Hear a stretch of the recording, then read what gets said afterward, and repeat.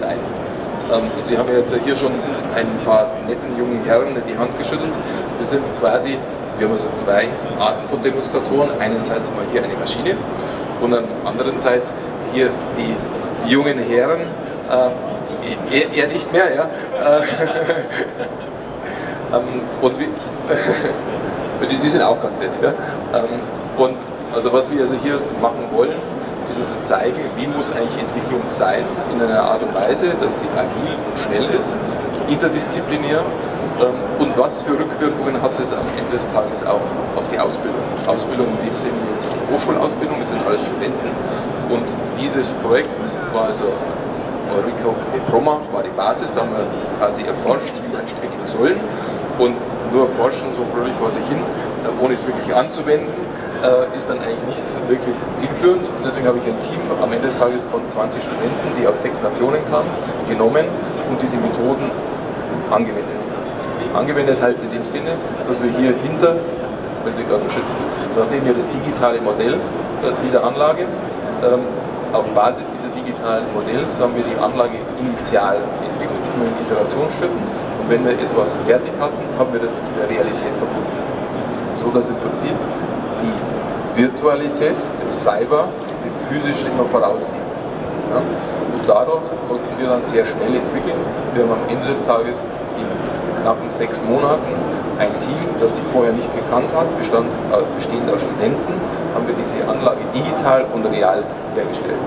Und damit wir auf einer Messe, so eine charmante Dame wie Ihnen und auch anderen charmanten Herren etwas anbieten können, haben wir das Ganze noch ein bisschen verpackt im Sinne dessen, ähm, mit den Keksen und auch ja? Also die Kekse sind so statistisch gesehen eher für die Damen interessant ähm, und die Cocktails dann eher für die Herren. Und wir können also Kommt hier... An, was drin ist. Also wir variieren das auch. Also es ist ein modulares System und es ist also der Gradient äh, geht nach oben, äh, je länger der Tag wird. Ähm, ähm, so, und wir können also jetzt hier ähm, verschiedene Module sehen, ähm, die auf einem ja, standardisierten Protokoll OPCUA-Architektur basieren, was also ganz wichtig ist, dass also auch verschiedenste Hersteller miteinander interagieren können. Also wir haben hier cyberphysische Systeme, die alle eine gewisse Intelligenz haben.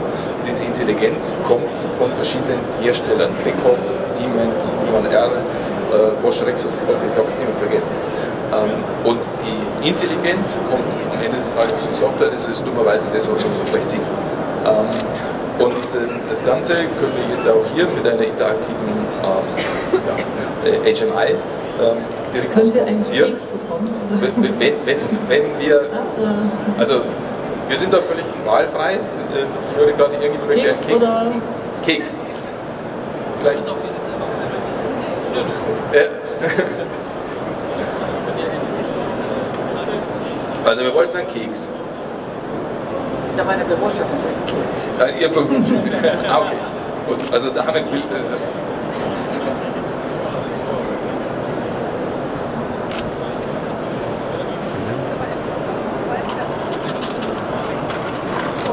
So, und so, und jetzt sehen Sie, also hier fährt also dieses System, holt den ersten Keks ab. Was immer ganz nett ist, die beiden Komponenten arbeiten zusammen. Das drückt da hin und dann fährt es da hoch.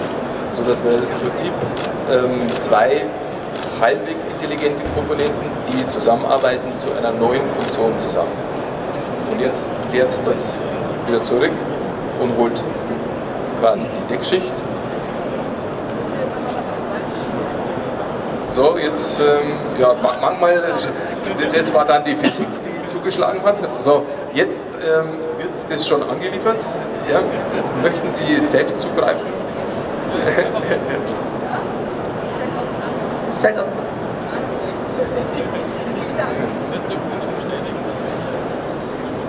So, also das ist jetzt letztendlich, um es auf einer Messe zu machen. Und den Studenten hat es aber Spaß gemacht. Also man lernt bei so praktischen Dingen viel mehr, als wenn man es jetzt nur in der Tafel sieht. Ne? Also das ist für Ingenieurstudenten, oder was studieren Sie? Maschinenbau, ne? ist sowieso das Praktische. Also was vielleicht ein, ganz wichtiger Aspekt ist, das ist ein internationales Projekt gewesen, wo also die Studenten... Sechs Nationen, ne? Genau. Sowas, ja. Und wir kennen aus dem Softwarebereich auch so das Thema Open Source. Ähm, und was wir hier gemacht haben, wir haben auch eine entsprechende Website, wo wir alle Informationen, die wir äh, erstellt haben, also wir haben jetzt hier den Demonstrator, aber eigentlich wollen wir nicht nur diesen Demonstrator zeigen, sondern den Weg, wie wir es gemacht haben.